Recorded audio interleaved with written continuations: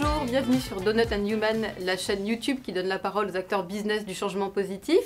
Aujourd'hui, je suis avec Charlotte Caton et avec Franck Ladouce, les deux cofondateurs de What Matters.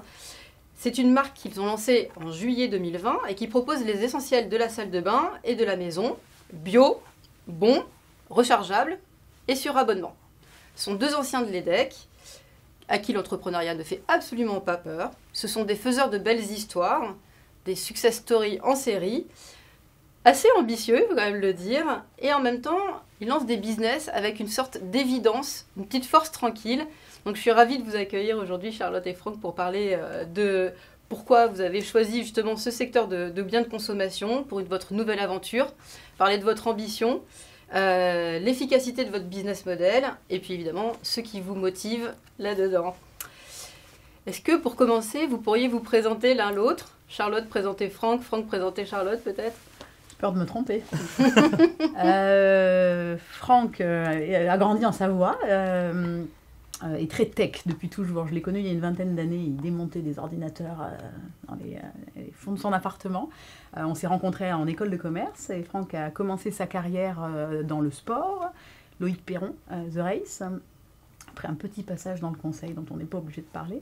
Euh, et puis il a fait toute sa carrière dans le sport, Paris 2012, la candidature, euh, championnat du monde d'athlétisme. Il a monté en 2008 le cabinet Keneo, qui était un cabinet euh, d'événementiel et de conseil dans le sport. Hein. C'est un bon test. Hein. Elle le fait bien. qui qu'il a monté avec quatre associés et qui en gros faisait bah, de l'événementiel en France, au Gabon et du conseil aux candidatures, euh, voilà, et qu'il a vendu au groupe Densu en 2016 euh, et qu'il a suivi jusqu'en 2018. Euh, et puis en 2018, il a arrêté cet accompagnement qui était terminé pour monter avec quelqu'un de très bien, une société fantastique dont nous allons parler aujourd'hui. Ça va, tu t'es pas trompé. Tu vas trompé, mais tu n'as pas mentionné que vous étiez, que tu avais rejoint Franck justement dans cette euh, boîte qu'il avait créée. Alors, présentez-lui. Ah, vas-y, Franck, à toi. Euh, non, bah, donc Charlotte, on s'est effectivement rencontrés euh, en école. Bah, Charlotte a, démarré sa carrière chez Price dans le conseil. Et puis après, très vite, déjà, l'entrepreneuriat l'a titillé. Donc, elle a rejoint un cabinet de conseil euh, en propre pour, euh, voilà, pour monter ce cabinet de conseil. Puis ensuite, elle est partie. Euh, j'ai un petit, un petit, un petit, switch, un petit trou de, l'ordre, mais elle est partie, tu me diras si c'est dans le bon sens ou pas, elle est partie chez Garlin. dans, le, dans le contrôle de gestion et dans le, chez, chez Garlin, qui d'ailleurs aujourd'hui, bah, c'est, on, on, en parlera après de nos complémentarités, mais c'est ce qui fait qu'on s'est évidemment retrouvé sur ce projet. Et puis ensuite, passionnée d'industrie, elle, a un peu moins au départ de marketing, elle a rejoint le LBO de Verre Essence, qui aujourd'hui est l'industriel qui fabrique nos flacons, avec cette technologie de verre renforcé sur lequel on viendra également. Euh, et puis après, l'entrepreneuriat, toujours la titillant, elle a monté une société de cosmétiques avec sa sœur, qui s'appelait De. Euh, ça s'appelle toujours De Bruyères Ça s'appelle toujours De Bruyères. et la petite année, hein, ouais, non, ce qui marche d'ailleurs très bien. et la petite anecdote, c'est que, ben, en fait, euh, on, s'est retrouvé dans les mêmes locaux puisqu'on leur a sous-loué les locaux parce qu'on a démarré à peu près en même temps en 2008. Euh, donc moi, je travaillais dans le foot et puis Charlotte dans les cosmétiques, mais on était à la machine à café ensemble. Et puis, ce faisant. des clopes à l'époque. Voilà, on a le droit de le dire. Et puis le chemin se faisant, euh, voilà, euh, sur, sur, des logiques, Charlotte avait envie en tout cas de, peut-être d'autres choses. Euh, et elle m'a rejoint donc en 2014 chez Keno, le cabinet qu'on avait monté. Donc tu as traversé le palier en fait? Ouais, pas loin. Non, j'ai géré le déménagement. Voilà. Et voilà, pour structurer la société, parce qu'on commençait à devenir un, un peu gros et qu'on avait besoin un peu de process, et avec un vrai rôle d'ailleurs de secrétariat général. Et puis on a revendu ensemble du coup au groupe Densu en, 2016 et, puis on est parti du coup tous les deux en 2018 euh, en louant des bureaux et en se posant en disant mais qu'est-ce qu'on va faire maintenant? On a envie de réentreprendre. Voilà la, genèse. Euh, t'es pas parti avec tes anciens associés, t'es parti avec Charlotte? Non, mais j'ai non effectivement. Mais, bon, après chaque chaque histoire, moi j'avais envie de changer de secteur. Euh, eux Ils sont restés dans le sport. Continuent leur histoire dans le, le, sport sur différents sujets, de certains entrepreneurs, d'autres plus. Mais voilà, moi j'avais envie de changer de secteur parce que je, crois qu'on n'est jamais meilleur que dans un secteur qu'on ne connaît pas bien. Oui, peut-être tu as besoin de démarrer des nouvelles choses, d'explorer. C'était notre envie. Après, avant d'arriver sur, les, sur What Matters, on a éclusé un certain nombre de projets divers et variés. On s'était d'ailleurs rencontrés à cette époque-là, Ouais. euh, en partie. Qu'est-ce qu'il y avait que vous avez euh, balayé du, quand même euh, finalement des belles idées que vous n'avez pas forcément euh, Ah, il y en a plein, si tu l'écoutes, elles, ont eu- elles ont eu lieu depuis. Mais euh, on avait le, le, le Doctolib du concessionnaire, hein. Ouais, le Doctolib Pas du mal. garagiste, euh, on avait, euh, on avait Un un, un, un petit, un petit truc de, comment ça s'appelle, tu sais, là, la- le réseau social autour du son là, qui a été lancé là. Ah oui, euh, Clubhouse. hein. Ah, Clubhouse, Clubhouse, voilà, l'idée c'était de faire un réseau social autour du son, etc. Et puis voilà, enfin, donc on a vu une quinzaine de projets comme ça, sur lesquels euh, voilà, on, on a réfléchi, sorti un peu des BP, et puis je pense qu'on avait aussi de donner un p- envie de donner un peu plus de sens, parce qu'on on avait- on n'était plus si jeune et qu'on avait la chance aussi d'avoir revendu et de pouvoir démarrer des choses. euh, On s'est reposé un peu aussi. On s'est Ouais. reposé un petit peu. Et alors Mais, là, euh, donc du coup, vous partez euh, pas tout de suite, mais après avoir exploré plusieurs pistes, vous vous dites, ok, on va faire le Procter et Gamble de demain, euh, on va refaire le Unilever, ou c'était quoi le- à la base le- l'envie, ou alors c'était, on va faire, on va partir sur un projet à orientation très écologique. Je crois qu'on est, on est plus ambitieux, mais plus humble que ça. Euh, c'est pas une phrase qu'on pourrait prononcer, je crois. On s'est juste dit à un moment que sur ce projet-là, il y avait un alignement des planètes entre euh, le fabricant qui voulait bien nous donner la technologie en exclusivité du verre renforcé, le concept, le nom, et, euh, on s'est dit qu'on avait une chance de changer les choses. euh, et, que surtout, bah, on avait 40 ans, quelques cheveux blancs, et qu'il fallait, bien que ça ait des avantages, parce que ça a quand même quelques inconvénients, qui était notre réseau. Euh, et que donc du coup on avait une plus grande facilité à développer une gamme très large assez vite euh, en n'étant pas sur des formules sur étagère parce qu'on avait déjà travaillé là-dedans, que Franck avait euh, pas mal de connaissances en tech, que voilà, les cosmétiques on s'y connaissait un petit peu. Et donc du coup il y a eu un alignement des planètes. Et ouais on s'est dit qu'on on allait changer les choses, on a fait un business plan avec des chiffres hyper ambitieux. Et puis, et puis on a posé les produits, on a commencé à vendre. Et puis on s'est rendu compte qu'on on arrivait à les atteindre. Et donc du coup il y a comme toujours une part de d'alchimie du moment. Ouais. On a lancé en plein confinement où les gens passaient beaucoup de temps chez eux et je pense qu'ils en avaient marre de voir leur truc de l'arbre vert à côté de leur évier euh, à force de faire tous les repas, euh, d'alchimie de, de, de, de, de- de beau et de clean et puis, euh, et puis, puis un peu de magie sur, euh, sur, sur une marque Ouais. qui marche. D'accord, on va reprendre Ça un peu dans l'ordre. Ça n'a ouais. pas été le. le- parce qu'on Ouais. pose souvent cette question on s'est pas réveillé un matin sous la douche comme bon nombre de storytelling. euh, Tiens. Euh, Ou au fond du euh, garage. voilà, j'ai pensé à ça, c'est ça le Ouais, C'était un projet très itératif dans la conception. D'accord. On saurait même pas dire quel jour on a Mm. décidé que c'était celui-là, je crois. Et, euh, et euh, j'ai- mais j'ai une question, mais qui a rien à voir. Mais là, en fait, vous avez, je vous ai entendu dire un jour que euh, vous cherchiez euh, pas les adeptes du bio, pas forcément, euh, c'est pas forcément votre cœur de cible, mais plutôt euh, euh, ceux qui euh, qui ont envie d'avoir, euh, voilà, euh, d'avoir euh, de participer euh, au mieux, on va dire, euh, en gardant l'aspect euh, beau. Et Ouais. vous, euh, avant de parler de vos clients, vous deux, vous étiez écolo, vous aviez changé votre manière de, de, de, de consommer. Ouais, je pense qu'on avait, après je laisserai Charlotte répondre, parce qu'effectivement on n'avait pas la même affinité au, à l'écologie et à la responsabilité. Moi je crois que je me suis éduqué avec ce projet au fur et à mesure. Euh, j'ai toujours été sensible, mais je pense que j'étais pas le meilleur exemple, les meilleurs exemples dans mes actes du quotidien, et ce projet clairement m'a m'a sensibilisé, et je pense que c'est un des enjeux aussi, euh, euh, pour quand même parler un peu sur ce qu'on propose, c'est de se dire aujourd'hui, euh, finalement, il y a beaucoup d'offres sur l'éco-responsabilité, etc. Mais les gens ne savent pas toujours comment le prendre. Et le changement reste quelque chose de difficile quand vous avez consommé pendant 20 ans. Je crois que c'est un peu le credo de base, c'est comment on fait changer les gens, mais par le plaisir et pas par la culpabilité ni la contrainte. Je crois que c'est ce qui résume le mieux notre projet là-dessus. Après, Charlotte avait... Ou elle, par l'engagement. euh, Oui, oui, mais on se considère comme engagé, mais pas comme militant. D'accord. Et- Et puis surtout, on pense que c'est aux entreprises de proposer des, solutions pour que le changement soit possible. Ouais. Bah, Montrez-nous ce que vous faites puisque vous avez amené les, euh, vous avez amené quelques produits. Alors ça commence par quoi en fait? Vous avez parlé tout à l'heure. Tu Charlotte fais a dit. télématin Ouais, je vais prendre, Ouais, je vais hein. Tout à l'heure, Charlotte a dit, on a eu, euh, que t'étais passé chez Veressence et que euh, rapidement, tu as dit que vous aviez développé justement euh, en partenariat euh, ce verre. Tu peux nous raconter un peu parce que c'est un, peu la jeunesse de l'histoire aussi. En fait, ils avaient dans les cartons euh, depuis euh, une dizaine d'années, parce que ça remonte un peu l'époque où j'y suis passée, une technologie de verre renforcé qui en gros euh, met une couche de polymère sur les flacons. Donc c'est la, technologie du pare-brise, c'est ça, de voiture? Non, parce que le pare-brise c'est un multicouche, alors que celui-ci vraiment vient mettre un décor sur l'extérieur qui en fait met une petite couche qui, qui retient en fait les bris de verre en cas de casse, qui le rend antidérapant, trois fois plus résistant, et puis qui, comme on le voit là, retient les bris en cas de casse. Et ils avaient ça dans les cartons, mais en fait euh, ils l'avaient jamais vraiment euh, passé en production. Et, euh, et, et, aussi parce qu'en fait, comme le rechargeable existait moins à cette époque-là, c'était une technologie assez coûteuse qui n'était pas forcément simple de se payer. Et nous, on a dit, bah, en fait, si c'est possible de se le payer, si le flacon, on le garde, en fait. Hein. et que donc, du coup, ça devient un objet euh, qu'on garde. Et donc, du coup, on a développé une gamme complète de tous les produits de la famille et de la maison, au design très épuré. Euh, avec des formules ultra clean mais aussi ultra sensorielles. Euh, et puis tout est rechargeable via des éco-recharges de différentes tailles qui, une fois vides, font à peine 7 grammes, donc un demi-pot de yaourt, et qui permettent du coup de, de réduire la consommation de plastique euh, sans effort. Donc on garde le flacon, on garde la pompe. J'ai vu que sur votre site on pouvait racheter une pompe si elle s'abîmait éventuellement. Et donc on est dans une, dans une économie de moyens. Une fois qu'on a acheté tous ces produits, on a, on a juste à racheter des recharges qui pèsent pas grand chose. Et donc vous, vous avez développé quel, quel type de produit?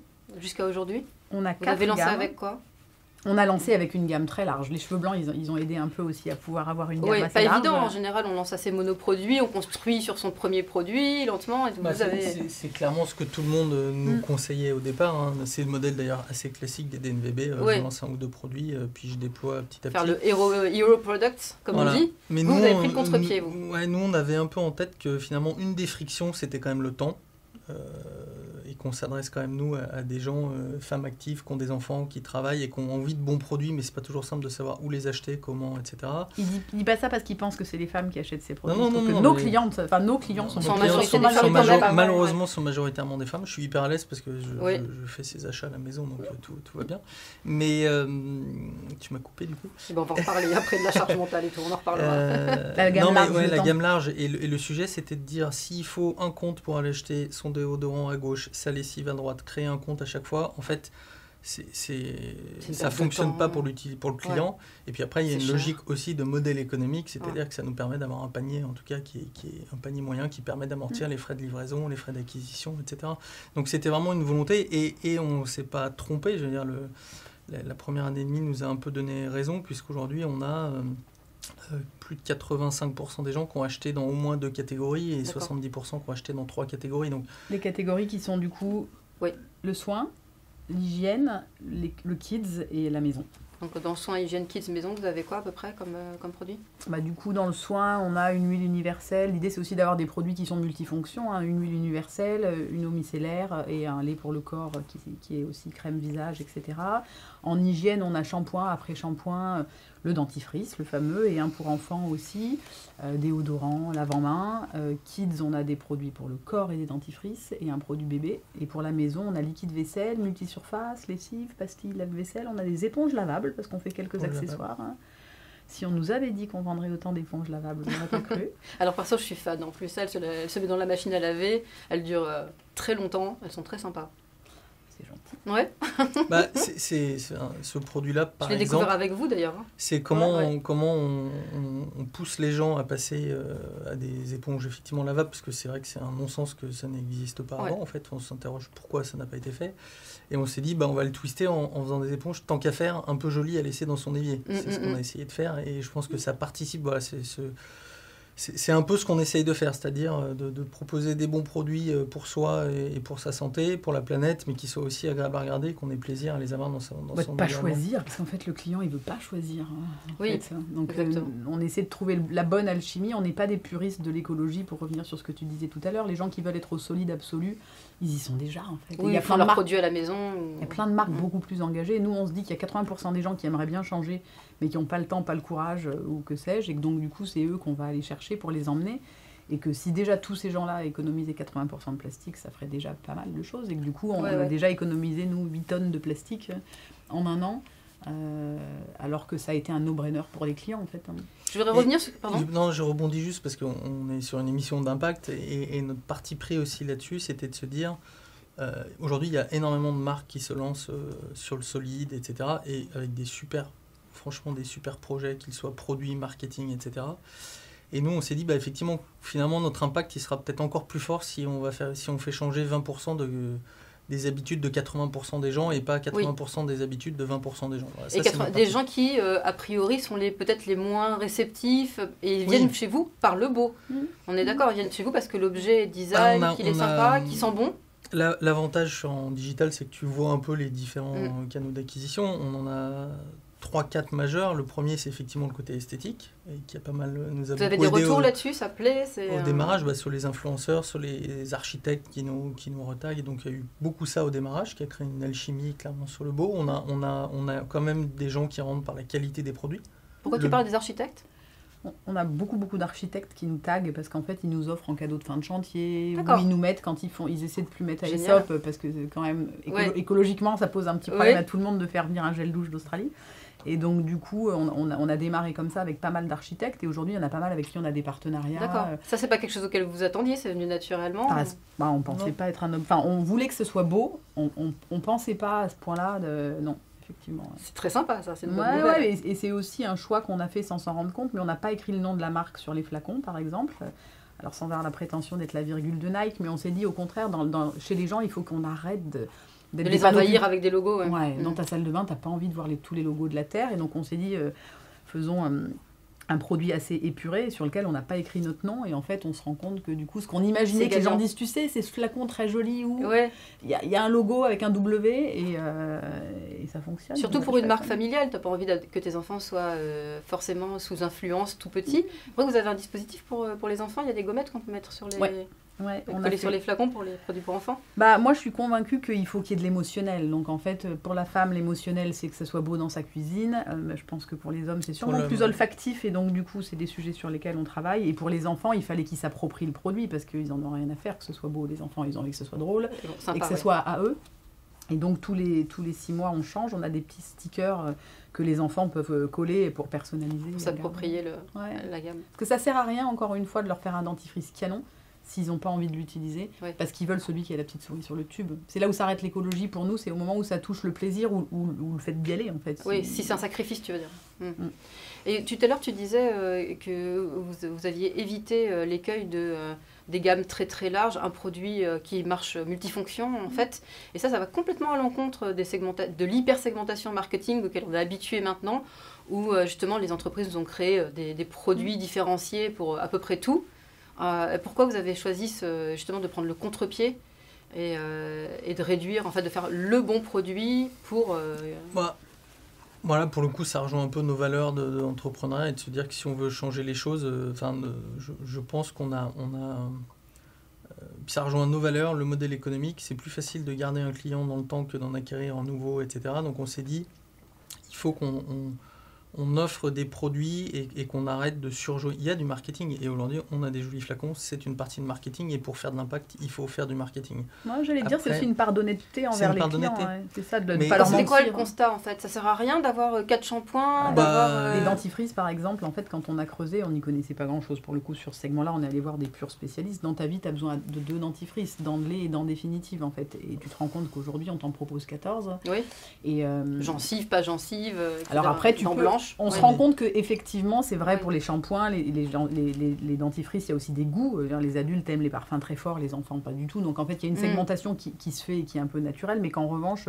t'es pas du tout obligé d'avoir euh, un 0,3, un 3,6, un 6,12 et puis un plus de 12.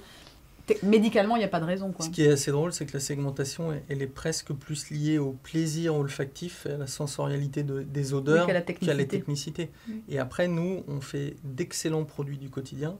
Euh, mais l'idée, c'est pas de rentrer dans des, dans des produits avec une R&D euh, D'accord. hyper spécifique. On a, on a pour vocation, nous, euh, c'est aussi important dans, dans notre gamme de produits, d'être les excellents produits de toute la famille. Ça ne veut pas dire que la femme qui a des cheveux très complexes, qui a des cheveux colorés, elle peut s'acheter son shampoing très technique et elle va continuer. On n'a pas vocation à remplacer tous les produits. Nous, Vous êtes la base en fait. c'est les le excellents fond de produits. placard. le- Ouais, alors fond de placard, c'est c'est pas très joyeux. C'est pas très joli, pas ouais, désolé de le dire pas comme ça, très- Non, mais, mais on n'est pas, on pas le, le La référence, mais, après on euh, rajoute. Non, mais euh, dans l'idée, c'est ça. En tout cas, c'est d'être Ouais. les excellents produits sur lesquels on n'a aucun doute. Et euh, voilà. Et puis de plus en plus, les gens changent aussi. Ils n'utilisent pas du, du produit. euh, voilà, il y a des shampoings qui restent. Je sais pas comment c'est chez toi, mais parfois il y en a qui tournent sur 3-4 Oui. shampoings. Euh, mm, mm.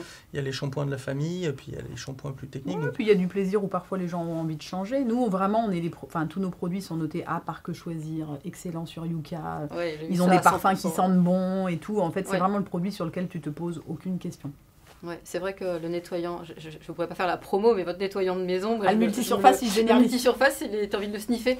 On, on reparle un tout petit peu du dentifrice, parce que c'est quand même un petit exploit. Vous êtes les premiers à avoir mis du dentifrice dans un, dans un flacon pompe. Mm. C'est celui-ci, c'est ça? C'est celui-là. Ouais. Bah alors en fait c'est un exploit sans être un exploit parce qu'en soi c'est comme toutes les bonnes idées. hein. C'est vite copié, c'est ça que tu veux dire? Non, Bah, non, c'est simple. Ouais. Ça, c'est certain. C'est simple ou pas parce qu'il faut pas que ça colle, il faut pas que ça bouche le, Ah, la a- pompe? Oui, oui. Après, euh, nous, c'est pareil. On, on pense que les bonnes idées, c'est des idées simples. C'est une formule qu'on a, qu'on a gélifiée, liquéfiée pour qu'elle passe dans un flacon pompe sans couler de ta, de, de ta brosse à dents. Donc en réalité, euh, c'est, on, on, on fait pas le genre, on met une charlotte et on va raconter qu'on a passé euh, 48 mois Je dans les usines et que ça a été tellement compliqué. Et que... Non, bah, il y en a beaucoup, hein, pas, pas que, que celle à qui tu penses, mais. Et donc, du coup, euh, en réalité, c'est c'est une, idée, euh, c'est une idée assez simple. Après, euh, il a le bon goût, il a la bonne texture, euh, le flacon est beau, la pompe, elle délivre pile la juste dose. Enfin, en fait, c'est plus... Ça coule plus sur le Mais lavabo, on se ouais. dispute plus pour euh, qui pas refermé potentiellement, le tu vois, c'est- c'est c'est peut-être le produit qui résume le plus notre état d'esprit. Alors, euh, on est plutôt, on- parce qu'on s'était croisés à l'époque, on avait quand même bossé même un peu ensemble sur, sur ce projet, et, et- et l'idée c'était de se dire euh, comment on réinvente quelque chose, mais pas que sur la formule, mais sur le pack? Parce qu'en fait, un dentifrice, c'est Mm. toujours moche, c'est toujours écrasé, c'est-à-dire que c'est sympa le- les deux premiers jours, puis après, euh, voilà, c'est horrible, on paume le bouchon. qui on en puisse être cons- nomade parce que le solide, tu peux pas Mm. vraiment l'emmener. euh. On en consomme trop, les enfants ils n'arrêtent pas d'appuyer sur vrai. le tube. Donc l'idée c'était de, le- de le- revisiter plutôt que de réinventer, mais en tout cas de revisiter un usage avec une formule, un flacon et du rechargeable. Et, et- et aujourd'hui c'est celui-là, on bosse déjà demain pour savoir euh, quel autre produit on revisitera. Enfin c'est- Mhm. c'est ça qui fera le... Ça crée l'élément de surprise aussi, Ouais. c'est pas négligeable quand même. Bien sûr, clients. mais voilà, mais maintenant, faut, comme tu dis, on se fait copier. Je pense qu'il y a certaines, euh, certaines marques qui ont du mal entre l'inspiration et la copie, mais ça c'est un C'est la rançon du succès. Je sais pas, mais bon, Mhm. en tout cas voilà. Il paraît. Euh, il Ouais. paraît. Euh, mais clairement, nous, on est, on est sur l'étape d'après. On, on est sur l'étape d'après de se dire c'est- quoi, c'est quoi demain, c'est quoi le Ouais. produit demain à faire? Après, on, on revient sur les pompes parce que ça aussi, c'était, on a mis des pompes sur l'intégralité de nos produits. Alors oui, la question des pompes, en général, il y a une vis à l'intérieur métallique qui empêche qu'elles soient recyclables. Euh, Donc c'est c'est deux parties, euh, comme toujours, Alors, quand il y a deux composantes, Tu, tu- c'est tu as complètement raison, mais là ça fait partie. euh, deux, c'est un flacon que tu gardes, donc tu n'es pas censé jeter la pompe puisque tu la gardes tant qu'elle marche. Tu, Ok. tu Elle se rince en pompe, fait. elle se rince, Et après, là, on touche exactement la complexité de l'écologie et, et- et du cycle de vie d'un produit. C'est que certes, euh, ce bout de pompe n'est pas recyclable, mais tu consommes beaucoup moins de produits finalement avec cette pompe-là. Donc indirectement, tu es censé consommer moins mais mieux. Donc acheter moins de bouteilles de remplacement, donc renforcer ton bah, économie ça, par exemple, ça représente 3,6 tubes de dentifrice enfant. D'accord. Donc en réalité, et économiquement et en termes de réduction de plastique, en fait, c'est c'est nettement euh, plus intéressant. Et ça, Mais- c'est quelque chose qu'on s'est recyclé, le, le doy pack ou le pomme pot, comme euh, on Alors dit à partir du mois de, du mois de Ouais. d'août, euh, les choses seront recyclables. Pour- Jusqu'à présent, ça n'existait pas pour une raison simple, c'est qu'en fait, c'est euh, c'est assez complexe une recharge. C'est assez cher d'ailleurs, c'est pour ça d'ailleurs Oui. que tu n'en vois pas dans le commerce. Euh, C'est plus en cher, il faut, il faut dire que c'est plus léger, ça paraît Il y a moins moins de plastique, cher. mais c'est Il y a plus moins de cher. plastique, mais c'est plus cher que de refaire euh, un emballage en, en En entier. plastique, C'est plus cher qu'un tube, c'est pour ça que les lessiviers n'y vont pas. C'est plus cher que tout en fait, quasiment, parce que c'est trois couches de plastique différents, un qui est résistant et l'autre qui est assez mou pour être soudé. D'accord. Donc euh, le recyclage était, était pas si simple à faire. Et donc du coup, ça y est, là c'est fait. Ils sont, ils sont capables de faire du monomatériau en fait, parce que c'est ça le sujet pour qu'ils soient Ça, c'est la demande des consommateurs, on est d'accord. C'est euh, et ou la demande des marques de niche, c'est pas la demande du grand public, de, des grandes marques d'avoir des, des Ah, en les plastique. grandes marques aujourd'hui, elles ont un sujet, c'est qu'aujourd'hui, si elles vendent ça, elles doivent le vendre moins cher que le produit d'origine, Oui. qui est aussi dans du plastique, alors que ça leur coûte plus cher. Donc en fait, ils cannibalisent leur marge. Donc eux, économiquement, C'est compliqué. Ils sont C'est trop compliqué. aucun c'est important de le dire parce que c'est vous qui faites l'effort en fait. euh. Bah, on pousse les gens à changer. On discute régulièrement avec les gens de l'Occitane, qui est vraiment une, une- une belle boîte avec des chouettes valeurs. Ils disent, on sait Mm. bien que bon, ah, on se tire un peu une balle dans Oui, le pied, mais en même temps, c'est le sens de l'histoire. Faut y aller, il faut qu'on change les choses. Et donc, du coup, bah oui, oui, on y va. Mais oui, oui, je pense que ça titille. euh, Et, et après, ça va aussi dans notre conviction, parce qu'il y a effectivement depuis quelques années, mois, euh, euh, à grand renfort de coups de pub sur on relégitime le plastique par la recyclabilité du plastique. Mais il ne faut pas oublier qu'en France, tu as entre 15 et 20% seulement qui Oui, est réellement recyclé. la filière n'est pas. Donc en fait, la seule solution, et c'est notre parti pris, c'est d'en consommer moins. bah, quand elle sera recyclable, elle sera pas recyclée, en fait, c'est sûr. Oui, En tout cas, pas Mm. totalement. Pas Donc, totalement. voilà. Donc en tout cas, ça fait partie, nous, de notre conviction de dire la seule solution, c'est moins. C'est pas- ça. Et, donc de- d'utiliser ce plastique jusqu'à ce qu'il soit fichu, en fait, euh, c'est aussi une bonne le- le- pour la, la pompe en tout cas. Oui, bah, par exemple pour la pompe. Après, euh, je, sais- je sais que les fabricants, les industriels réfléchissent à des, à des, à des systèmes. hein. Après, euh, nous, on est là pour faire bouger les lignes auprès d'industriels et on arrive à faire des belles choses avec Veressence, avec euh, nos- nos- tous nos fabricants. Ce qui est sûr, c'est que quand tu sais qu'une pompe, faut, quand tu veux commencer à faire un modèle de pompe, tu vas les produire par des millions d'exemplaires. Bah, toi, tout seul, tu peux difficilement faire bouger une industrie. Donc, ça, petit à petit, ça bouge et, et ça. Et vous, doucement. vous y êtes arrivé parce que vous êtes arrivé avec des volumes qui étaient relativement euh, importants par rapport à des marques de niche. Euh, ça a pesé dans la balance ou c'est parce que toi, dans ton parcours, justement, tu avais euh, l'écosystème, tu connaissais les gens un et peu des deux, je pense. On a pris ouais. des volumes pas négligeables, mais, mais on leur a plutôt raconté une belle histoire où ils allaient briller aussi. Nous, on leur a dit que contrairement à toutes les marques, ou contrairement à beaucoup de marques de niche, on se mettait pas en opposition avec l'industrie. En Ouais, fait, ouais. que- D'accord. Ce que tu dis souvent, tout le monde fabrique dans les mêmes usines. Donc en fait, on leur a dit. La euh, réalité, c'est qu'il y a beaucoup de DNVB et personne n'a d'usine. Enfin, je veux dire, si on est très Oui, clair. c'est ça, euh, mais c'est vrai que les, les- les marques les plus, on va dire celles qui commencent avec les plus petites quantités, commencent en- autour de 2000, 5000. Vous, vous étiez déjà peut-être euh, autour de 100 000. Ouais, dans ces eaux-là, ouais. Ouais. Mais, mais c'est pas ça qui les a C'est pas ça qui a je pense convaincu. qu'ils l'auraient C'est fait vraiment l'histoire. Non, non, on leur a dit, euh, vous êtes une industrie euh, inconnue au bataillon, parce que, alors que c'est une industrie, le verre, mais euh, incroyable. Je pense qu'on peut mourir après avoir vu une usine de verre. C'est une des plus belles usines que j'ai vues de ma vie et j'en ai vu. Pour quelle raison C'est euh, Bah, parce que c'est un mélange de Zola et d'hypertechnicité. C'est du verre en fusion qui est rouge, qui, qui devient transparent, qui forme un objet, qui, qui, qui change de Ouais. couleur. Euh, Les, le- le- les, les fours de, de, de, de verre en fusion, c'est euh, c'est un côté un magnifique. peu magique, ouais. Ah ouais, incroyable. Et en même temps, euh, c'est des hommes qui règlent des machines qui sont les mêmes depuis des centaines d'années. Oui. Donc il y a un C'est un truc. peu euh, infernal aussi. euh, C'est comme Bah, euh, la manufacture du Ouais, jean, en fait. Ouais, et puis Ouais. nous, notre promesse avec les industriels, avant les volumes, et évidemment, ils croient au projet, ils croient au volume de demain, ce qu'on est en train de faire aujourd'hui. Et, et donc voilà, mais il y a surtout le sujet de dire, bah, utilisez-nous comme laboratoire, parce que nous, on est capable d'aller beaucoup plus vite pour décider, pour tester des choses auprès de notre bah, communauté. ils ont des demandes maintenant de tous les groupes cosmétiques sur le verre renforcé, par exemple. Et nous, on leur a dit, on fera un battage et on vous citera. D'accord. Ce que vous avez fait Ce d'ailleurs. qu'on a fait, on les Mm. cite hyper souvent. euh, on, va, on a encore des interviews avec eux. En, en- Gagnant-gagnant. Ouais, Mm. ouais. Et en fait, tout le monde y a trouvé son compte. Donc on espère qu'ils ne vont pas aux autres trop vite. Ouais. On a une exclusivité pour quelques temps. Mais... Bon, on parlait d'Uka tout à l'heure, on sait qu'Uka ça, ça compte pour les consommateurs maintenant, euh, ceux qui sont actifs en tout cas, qui, qui aiment euh, rechercher par eux-mêmes. Mais vous êtes aussi bio et made in France. Alors bio, qu'est-ce que ça veut dire pour des produits ménagers des- Est-ce que c'est un vrai avantage? Est-ce que les gens recherchent, font leur recherche dans Google, euh, Bah. produits bio Euh, Oui. Oui, enfin oui, clairement, aujourd'hui c'est un des seuls labels, euh, en tout cas le label Cosmebio et EcoCert pour, pour les produits ménagers, qui est un peu garant de la qualité des Bah, qui produits. est factuel, qui dit quelque qui chose. Il y a des critères factuels en tout cas. Qu'est-ce que ça veut dire exactement par rapport à un produit C'est une non-toxicité des produits? Ah, alors après, on va revenir sur Oui. la qualité des labels, mais en gros, ce qu'on voulait dire, c'est que nous, quand on a choisi, on s'est dit est-ce qu'on est clean, qui veut tout et rien dire, ou est-ce Oui. qu'on est bio, et au moins euh, les gens sauront ce que ça veut dire. C'est 85% d'ingrédients naturels minimum, D'accord. sachant qu'il y a beaucoup d'eau, donc on, Mm. peut, on peut se poser des questions, et euh, 20% d'ingrédients bio minimum. D'accord. Voilà. Et après, il y a une liste d'ingrédients euh, autorisés et une liste d'ingrédients bannis. Bannis. Donc en fait, en gros, ça protège d'un certain nombre de choses, de perturbateurs endocriniens bien entendu, et cette liste, elle évolue tous les ans. Donc elle est gage de quelque chose. Est-ce qu'on peut faire mieux? Oui. Est-ce qu'on fait déjà mieux? Oui. Euh, on est à 96 ou 97% d'ingrédients naturels. Est-ce est-ce que c'est un label qui garantit tout? Non. On s'est juste dit que nous, on allait arriver euh, en digital et qu'à un moment donné, les gens, il faut aussi qu'ils aient un peu des tampons qu'ils reconnaissent pour savoir ce que ça veut dire et est-ce que c'est bien, est-ce que c'est pas bien, et que donc du coup, ça nous permettait d'avoir une forme de, de réassurance pour les clients. Euh, est-ce qu'on s'en passera un jour? Euh, Probablement. D'accord. Et, euh, et en ce qui concerne le Made in France, ça c'est quelque chose, on a les industries en France, c'est une, une des rares industries qu'on, on- où on a encore les savoir-faire, le tissu industriel, donc vous fabriquez où essentiellement? On a trois usines qui travaillent avec nous. On a euh, des choses en Lorraine, des choses dans le sud de la France et d'autres vers Angers. Et on tourne, on change, mais, euh, en même temps, on est très fidèle parce qu'on a des usines canons avec des gens euh, relativement incroyables. Après, je pense que c'est aussi bien de consommer local. Enfin, il y a un moment où en fait, il faut essayer de faire les choses près de chez soi parce que, voilà, même si ça a un coût, hein, Franck en parlait tout à l'heure, mais nous aujourd'hui, tout vient de France, y compris le pack. hein. La pompe, est La faite pompe à la aussi. fron- elle est faite à la frontière italienne parce que tous les pompistes Ouais. sont italiens maintenant, mais en tout cas, c'est vraiment. euh, et et c'était un vrai sujet pour nous.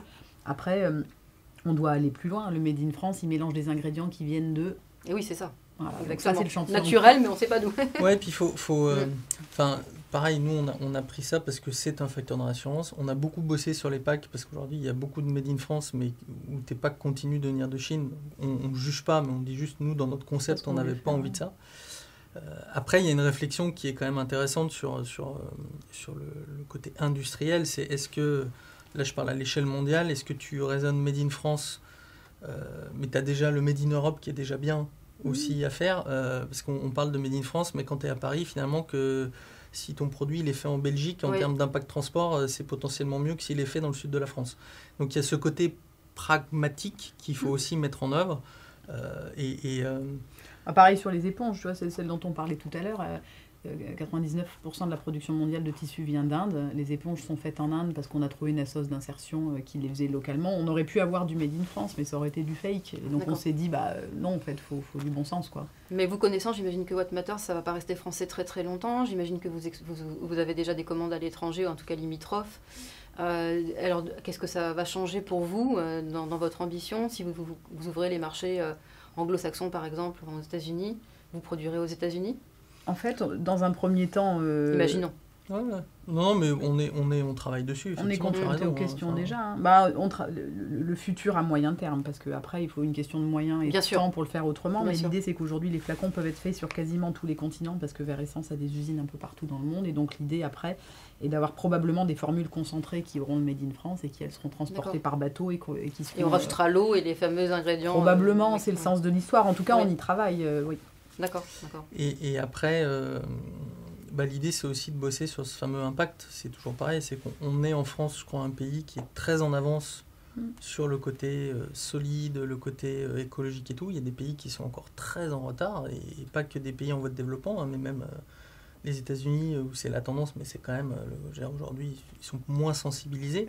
L'Asie également, qui consomme beaucoup de produits. Donc, donc c'est toujours pareil, l'équilibre entre euh, envoyer une partie des produits au démarrage pour éduquer le marché. Voilà. Mais notre vision à terme, c'est de se dire qu'effectivement, quand je te parlais de Made in France, euh, c'est de se dire qu'il faudrait produire par continent à minima. bien et, sûr. et, que l'idée, c'est surtout pas, d'ailleurs, on ne vend pas aujourd'hui à l'étranger depuis notre site pour aller expédier des flacons en Australie ou aux États-Unis depuis notre plateforme. Bah, ça n'a pas de sens euh, par rapport à notre, projet. En tout cas, on en, dit tout si direct, parce qu'on oublie souvent de dire que aujourd'hui, c'est vrai que dans le panorama des DNVB, finalement, c'est les marques les plus écologiques, entre guillemets, qui sont en direct to consumer, mais c'est le modèle qui est quand même pas idéal euh, quand tu. Quand ah, bah, de toute façon, c'est pas un modèle de croissance, c'est un modèle pour démarrer, le modèle DNVB, de toute façon. On, va en reparler justement euh, de, votre business model, mais euh, si tu veux, on commence par, par l'idée c'est une marque par abonnement et surtout.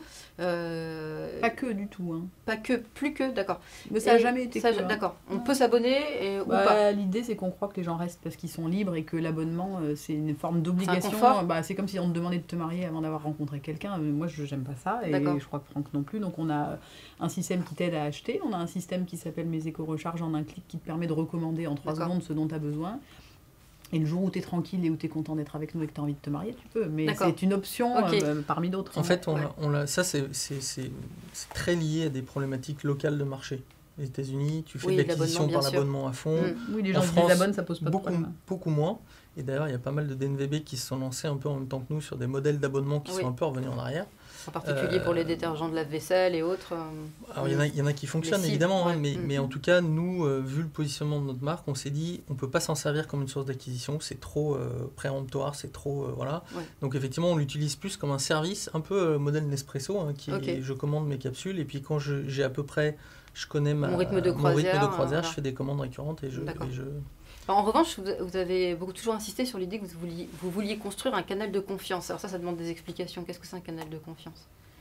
C'est que toutes les décisions qui ont été prises ont été prises avec euh, du bon sens euh, et euh, du plus et du moins qui a été pesé. Donc en fait, c'est assez, chouette hein, parce que du coup, on, on ment jamais. Et c'est d'ailleurs pour ça qu'on se fait assez rarement allumer, même sur les réseaux sociaux. C'est quand les gens nous disent c'est du plastique, on leur dit Ah ouais, ouais, mais on vous a jamais dit qu'on sauvait le monde. On vous a toujours dit que c'était 80% de moins. Si vous voulez aller au vrac ou au solide ou si vous y êtes déjà, ne changez rien. En revanche, nous, ce qu'on vous garantit, c'est que c'est déjà mieux, que les formules sont hyper clean et que vous pouvez dormir avec et qu'il n'y aura pas. Mais donc, en fait, c'est plus de se dire que. Il n'y a, rien de caché et que, euh, et que chaque décision a été prise avec du bon sens, comme si c'était pour nous, et que donc, du coup, euh, l'argumentaire est facile. quoi. D'accord, donc si tu connais déjà un ou deux produits, en fait, tu peux acheter les autres les yeux fermés, en fait, tu seras... Bah, en tout cas, chaque produit est fait sur la même démarche, de dire on a essayé de concilier au maximum le plaisir, l'efficacité, la sensorialité, le design et mm. l'écologie au, maximum de ce qu'il est possible de faire. Parce que c'est vrai que quand tu tombes, si on parle des produits ménagers, bon bah voilà, à un moment donné, quand tu, quand tu veux pas de produits euh, toxiques pour l'environnement, bah, c'est un peu moins efficace, c'est une réalité. Ou en tout cas, il y a moins de la parfum. La, lessive, par exemple, c'est vrai que les gens qui te disent Ah, moi, ce que j'aime, la lessive, c'est quand ça sort et que ça sent bon. Ouais, mais ça, c'est pas biodégradable, les amis. C'est pas possible. Oui, en fait. dès que ça sent bon, bah, ça veut dire qu'il y a une résistance à l'eau. En plus, les machines, maintenant, elles sont longues, à basse température. Donc, en fait, pour garder une rémanence de parfum sur ça, bah, c'est forcément complètement chimique et pas biodégradable. Donc, en fait, on éduque aussi les gens sur ça, tout en se disant Tiens, est-ce qu'on ferait pas une brume de, de, linge pour remettre ce plaisir-là qui touche Après les gens, le lavage. mais a posteriori, et Mm. qui du coup fait que tu as quand même une lessive biodégradable et qui a pas Ça sent bon dans la maison quand même. Mais oui, parce qu'en fait, nous, on pense que si t'as pas le plaisir, t'arrêtes au bout d'un moment. Ou alors, tu es tellement convaincu que tu es déjà sur des solutions plus radicales. Est-ce que, euh, pour revenir sur votre business model, euh, vous avez commencé en ligne uniquement Aujourd'hui, vous, êtes, euh, vous avez un très beau corner au printemps. Euh, où est-ce que vous êtes On peut vous trouver euh, et où est-ce que vous prévoyez d'être euh, en B2C, en direct to consumer? Après, on parlera du B2B. Bah, on, a, on a besoin d'y aller parce qu'en fait, on se rend compte euh, d'abord pourquoi est-ce qu'on y va. hein. D'abord, peut-être pour les Mm. raisons écologiques qu'évoquait Franck, et puis de praticité pour les gens aussi. Il leur manque quelque chose, etc. Et, et donc, du coup, pour nous, c'était important d'y aller. On a On est démarré. un peu anti-modèle de, de toutes ces belles levées. Après, c'est pareil, pas un jugement, mais qu'on trouve un peu. Euh, Bon, nous, notre idée, c'est pas de mettre en place un système pour avoir son éco-recharge dans les 7 minutes chez soi en, en faisant venir un tu livreur veux qui dire paye euh, 3 dans euros. un black market euh, quelconque euh, Bah, en tout cas, c'est Ouais, pas ou- notre modèle. C'est-à-dire qu'aujourd'hui, on, pense que, que, voilà, qu'aujourd'hui, il faut être au physique pour être au plus près des gens. On, on dit souvent, euh, notre premier concurrent, c'est pas une autre marque. Notre premier concurrent sur tout cet ensemble de produits, c'est la facilité. Quand tu plus de dentifrice, d'acheter du dentifrice en bas de chez toi, Bien sûr. dans le chemin de ton bureau, sur tes courses, euh, sur. euh, Ah, parce qu'on est vraiment sur des produits d'usage qu'on trouve absolument Do- partout. Donc il faut Ouais. qu'on soit au plus proche des consommateurs. Et c'est vrai qu'on a la demande de, de nos clients d'être en point physique, parce que quand la personne elle veut juste une éco-recharge, elle n'a pas forcément envie de faire une commande. C'est vrai que ça n'a pas de sens Ça a pas de pour sens. être livré. Donc, donc, donc nous on croit beaucoup depuis le début au modèle mixte. hein, euh, Et on a choisi des points de vente. euh, honnêtement, on n'est pas à la course au chiffre d'affaires et de l'ouverture de points Mhm. de vente non plus, parce qu'on veut des points de vente assez quali. Donc aujourd'hui, on a ouvert des magasins de déco. On est euh, chez Maison Plisson à Paris, qui est une épicerie. Oui, très haut de gamme. Exactement. Euh, Mm. on a ouvert quelques pharmacies, mais qui nous ont demandé, demandé, demandé. On leur a dit on n'est pas prêt, on n'est pas prêt, on n'est pas Ouais. prêt. On en a ouvert deux ou trois parce que vraiment. euh, ils avaient envie et nous aussi, mais on, on sait que pour aller en retail, on a un enjeu de merchandising aussi parce Ouais. qu'on a des produits extrêmement discrets et épurés qui chez Bien toi sûr. marchent nickel, mais qui Sur euh, l'étagère d'une pharmacie, euh, quand tu as en face, euh, peuvent avoir l'air, enfin, ils se voient pas en fait. Et Oui. donc du coup, on a cet enjeu-là qu'on est en train de craquer, on va y arriver. On a recruté quelqu'un pour, pour déployer le, le retail en France et tout. On a pas mal de demandes en fait. On, on- Oui. c'est- plutôt on a un problème de riche, hein, c'est chouette, mais on, on dit non, on n'est pas prêt, on veut pas le faire si c'est pour écorcher l'image de la marque. Moi, voir les flacons prendre la poussière euh, et pas se vendre euh, parce qu'on a pas, on a Ouais. voulu faire trop vite. En fait, ça a pas beaucoup de sens. bah, on- le, ouais, le retail, c'est plus facile d'y rentrer que, que d'y rester. Hein, moi faut faire du volume un peu aussi. ce milieu. Non, mais c'est les commandes d'implantation, tu as une nouvelle marque. Mm. c'est c'est c'est- je veux pas dire que c'est facile, mais en tout cas, c'est plus facile de rentrer au début, d'avoir une grosse Bien commande. sûr, mais tu fais, tu fais marque d'appel aussi, tu sais, tête de Bah, tu gondole. génères du euh, trafic, Tu génères hein, du il trafic, voilà. un tu certain génères nombre de réseaux qui, ventes. qui- oui. qui- de- oui, oui, évidemment. Donc On nous, effectivement, vu- qu'on on, on a envie de construire une vraie marque. Euh, Et pas trop élitiste, j'imagine aussi, à ce côté-là. Non, je- accessible, non mais d'ailleurs- enfin, je, je rebondis un peu parce que tu, tu parlais du Procteur. De, je ne crois pas que c'est ce qu'on a envie de faire de cette marque-là. Euh, on, on a envie d'être une marque accessible, mais, mais on parle de réenchanter les produits du quotidien, de luxe accessible, entre guillemets. D'accord, on est quand même sur un, Mais non, mais un parti en fait, de. on est accessible, on est sur le bas de la parapharmacie en, en positionnement prix, à peu près. Hein, quand tu... Mais parce qu'on veut que les gens, en, en même temps, et c'est ce qu'il y a de, de- de- de- de- de- qui fonctionne bien, c'est qu'en fait les gens ils se font un cadeau, mais ils ont l'impression d'acheter un truc dont ils ont besoin. Donc en fait ils peuvent, se- c'est pas un cadeau, en fait c'est pas grave, ils ont le droit parce qu'en fait ils en ont Et c'est besoin, pas mais plus en- cher que. euh, Et ouais, et Non, donc- in fine, avec l'éco-recharge, c'est pas plus cher. et c'est un peu plus cher, mais le dentifrice qui est à 9,90€ dans un flacon en verre renforcé, fait en France, formule bio, en fait, en réalité, euh, c'est- le rapport qualité-prix, il est imbattable. Et Oui. donc on veut garder ça. Et puis je pense aussi que on a grandi euh, en province tous les deux et on n'a pas du tout envie de faire une marque de bobo parisien, ce qu'on n'est pas d'ailleurs. On a 70% de province et c'est une de nos super grandes fiertés. Grande surprise, oui. Euh, parce que ça veut aussi dire que les gens, euh, de- tout le monde peut se l'offrir et que, euh, et, que, et que voilà. Et donc je pense que c'était un parti pris qu'on espérait avoir Ouais. et qui a, qui a bien fonctionné. ouais. Et il y, a- y finalement euh, il y a assez peu de marques qui réussissent à être. euh, bah, je me souviens au démarrage, il fallait faire le persona, euh, classe sociale et tout ça. Là. Bon, moi j'ai toujours rejeté un peu en bloc en disant Oui, ça on, fonctionne pas bien, hein, finalement. on va, on va vendre et puis on va voir ce qui se passe. Mais, mais Ouais. la, la réalité, c'est que nous, on avait envie de faire une marque pour tout le monde. Et, Je prends l'exemple très différent parce que mais un IKEA a réussi un peu ça, pas forcément sur le côté développement durable même s'ils y travaillent, mais en tout cas chez IKEA tu retrouves des étudiants, tu retrouves des gens Ah oui, qui ont des beaux appartes euh, avec des hauts niveaux de revenus, puis tu retrouves des gens qui, qui ont moins de, moins de revenus. Oui. Ils ont réussi ce truc-là. Et, et nous, je- on- je pense que c'est quelque chose qu'on a, réussi et qu'on veut garder en tout cas. Et puis les gens, euh, la, rédactrice du L Beauté, elle trouve ça magnifique et elle dit c'est pas très, c'est moins cher qu'Aesop, c'est bien. Et puis il y a des gens qui disent ah c'est un peu cher, mais c'est super. Dans les Oui. usines, on a des ouvriers euh, qui nous envoient des photos euh, parce qu'ils ont acheté de l'antifrice pour leurs enfants, parce qu'ils ont l'impression de prendre soin d'eux. Et en fait, ce grand écart là, il, il est canon.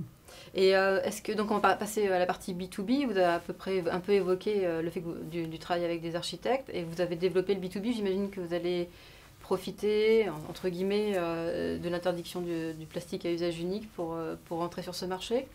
Bah, c'est c'est en démarrage, c'est c'est- Mm. voilà, on est, on est en plein dedans là. euh, pareil, on pensait pas que ça allait, que ça allait démarrer. Ils sont si venus à vous, euh, les hôteliers, les restaurateurs? Mm. Qui c'est qui votre public?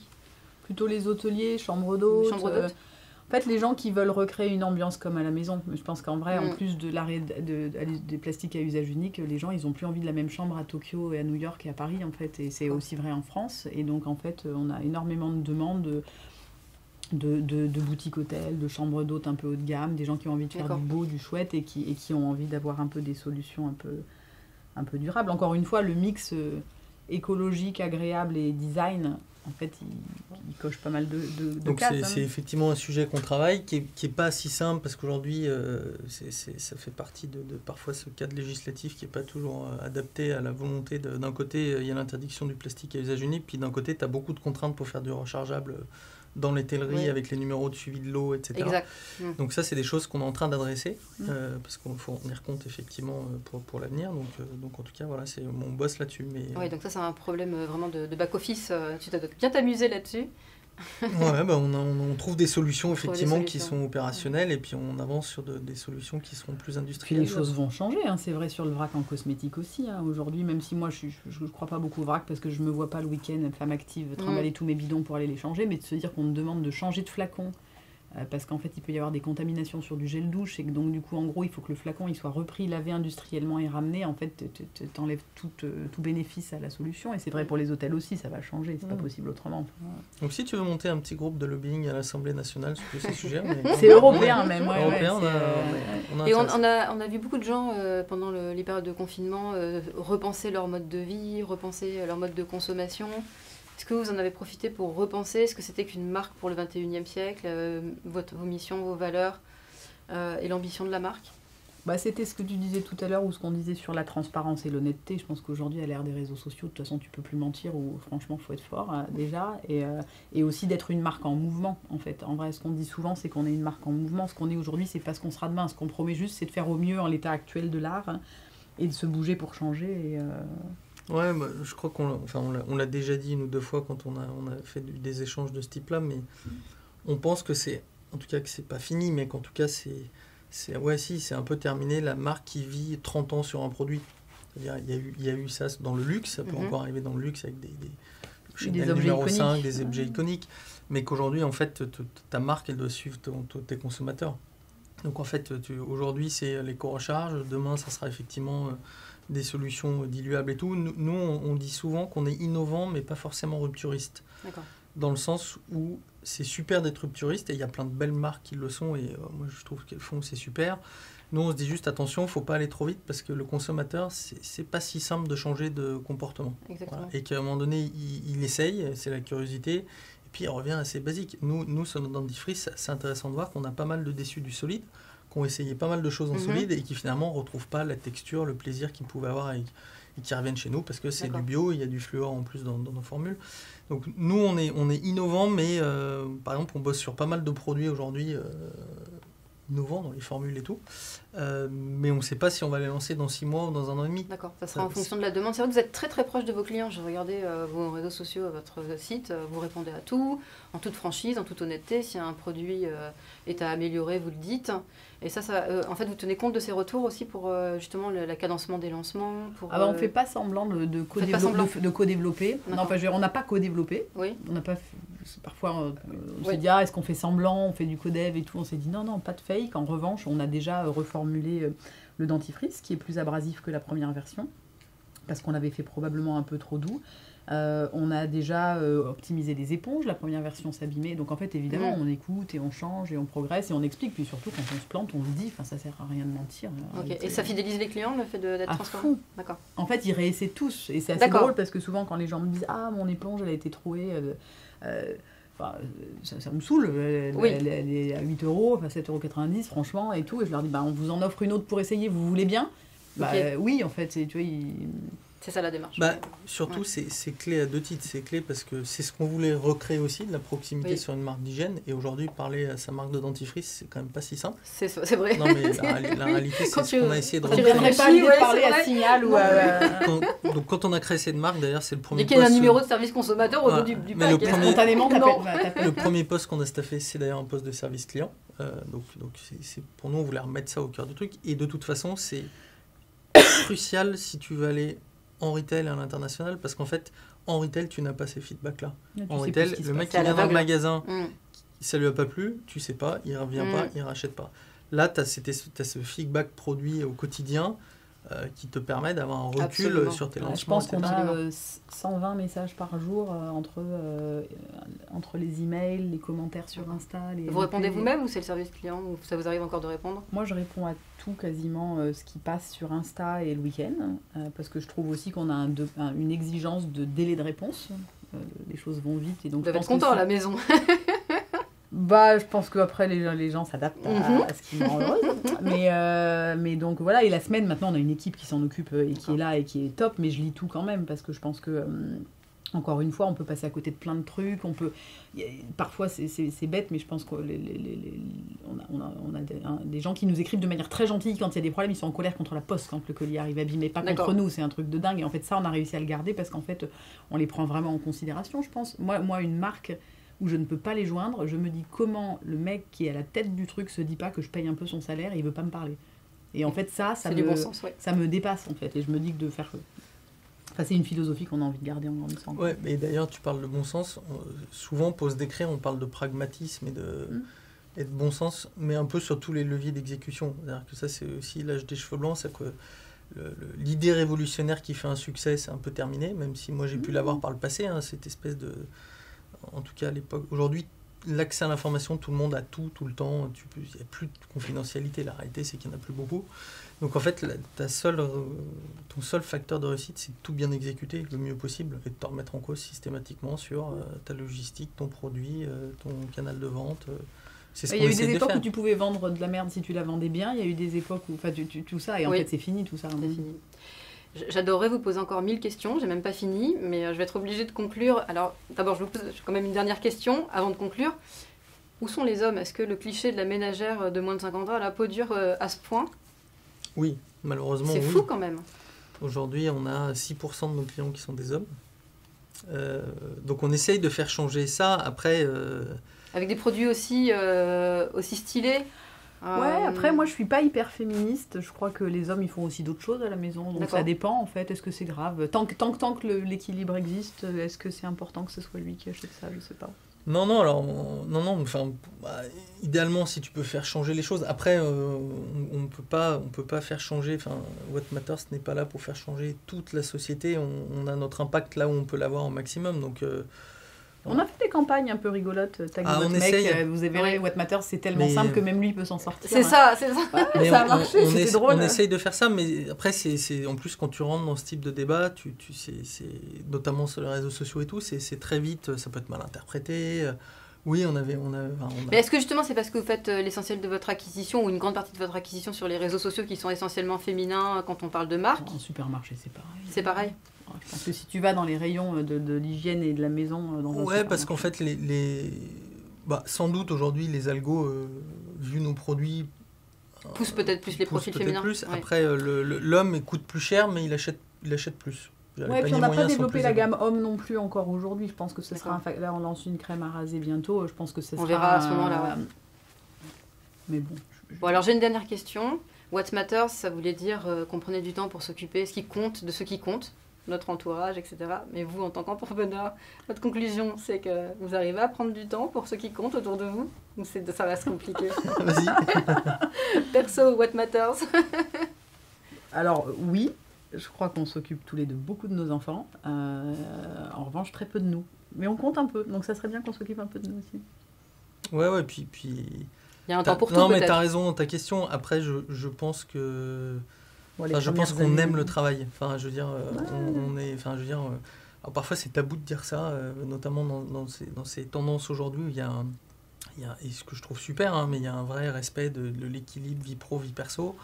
Bon, il se trouve que nous, on- en tout Oui, cas là je parle pour hein. moi, c'est, c'est, et je pense que tu peux difficilement être entrepreneur sans aimer ça. Voilà, ça c'est mon, parce qu'en fait tu décroches jamais, parce qu'en fait c'est pas possible de décrocher. Tout le monde pourra te dire je m'organise mon temps, j'arrête le soir. Il y en a, il y a des exceptions, je ne veux pas dire tous, mais enfin beaucoup, tu, tu décroches, ne serait-ce que dans la tête, tu décroches pas. Donc après, c'est, ouais, plus une logique d'équilibre. Mais au démarrage d'une société, deux ans, euh, ce qu'on a fait en deux ans à très peu de personnes au début, c'est compliqué. Mais, mais globalement, on aime bien ça, même si on est un peu fatigué parfois. Bon, contente de l'entendre. Merci beaucoup. Merci. Bah, merci, à toi pour Franck. ton accueil. Merci à tous de nous avoir suivis jusqu'à maintenant. Si vous avez aimé, n'hésitez pas à appuyer sur la petite cloche en bas pour nous suivre, partager, liker, petit pouce, euh, laisser des commentaires. Merci beaucoup à Rodolphe Muller, merci à l'équipe de production. Big Success et Top Talent, merci à Orlan derrière la caméra, merci à Marine au montage, à William et Marine à la prod, merci à mes partenaires ADN Paris et By Charlot, merci à Bernard, Lucas